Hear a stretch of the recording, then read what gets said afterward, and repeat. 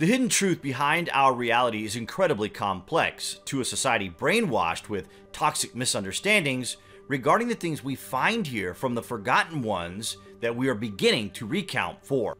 Reporting just recently on finds relating to the search for Cleopatra's tomb, Arab news sources reported that more than 2,000 years after her death, Cleopatra, the enigmatic queen of the Ptolemaic pharaohs, is creating a riddle for archaeologists desperate to find her tomb.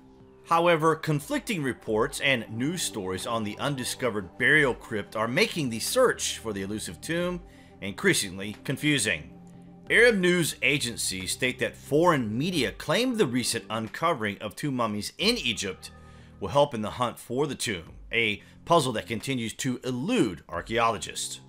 More specifically, in the UK newspaper The Guardian, reported that two mummies of high ranking individuals who lived during the same period as Cleopatra were found just outside of Alexandria, the birthplace of Cleopatra and capital city of the Ptolemaic dynasty of Egypt.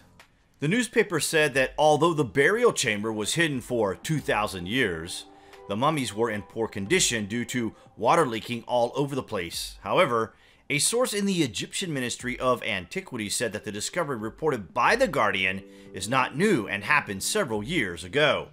Evidence revealed that the mummies were originally completely covered in gold leaf, a luxury granted only to those from the highest class of society, and archaeologists say that two may have known Cleopatra herself, and many Egyptologists believe that Cleopatra's tomb is located in Alexandria, where she was born and ruled from her royal palace.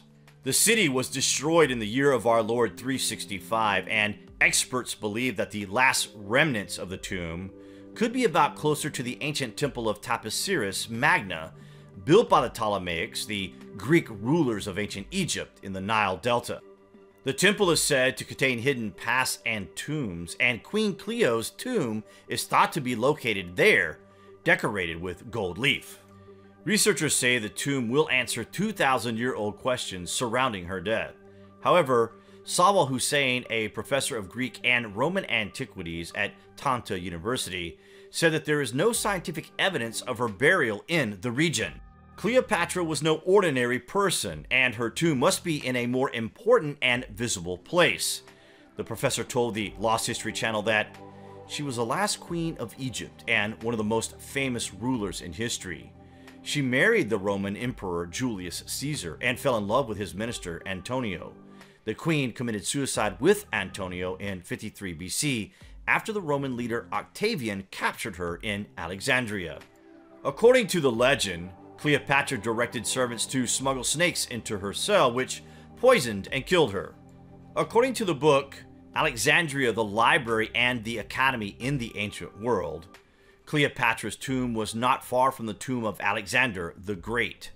Alexander's tomb in Alexandria, said to be made of gold, was taken by Ptolemy the 11th in 101 BC and replaced with a glass sarcophagus, and that Cleopatra lived in an era of droughts, as evidenced by valuables found in the tombs of her family. Archaeologists claim that Cleopatra's tomb, as well as the rest of the tombs of the Ptolemaic kings, are located in the royal district in the middle of modern day Alexandria. But what do you, the subscribers of the Lost History channel, think about this anyway? Comments below, and as always, thank you for watching.